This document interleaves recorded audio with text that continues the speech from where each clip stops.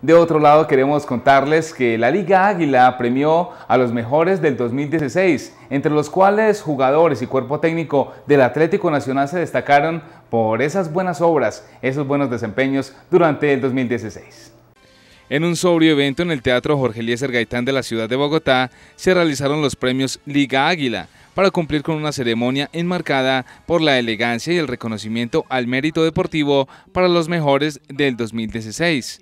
Entre los premiados se destacan los jugadores y cuerpo técnico del Atlético Nacional, después de la importante campaña del año pasado, donde ganaron diferentes competencias internacionales y locales. Mejor director técnico, ganador Reinaldo Rueda. Reinaldo Rueda, con mucho trabajo y profesionalismo, se ha ganado un lugar en la historia del Atlético Nacional, consiguiendo la segunda Copa Libertadores para el elenco antioqueño. Mejor arquero, ganador Franco Armani. El golero argentino Franco Armani es uno de los jugadores más representativos del Atlético Nacional y poco a poco se convirtió en ídolo del equipo verde, con el que completa la ostentosa cifra de 11 títulos.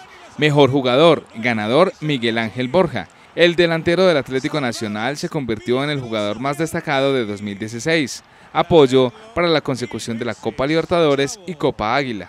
Mejor gol, ganador Michael Rangel de Chilena. El delantero de Junior de Barranquilla fue el autor del mejor gol de la Liga Águila en 2016, luego de marcarle de Chilena a La Equidad en duelo válido para la fecha 20 de la Liga Águila, en la fase de todos contra todos.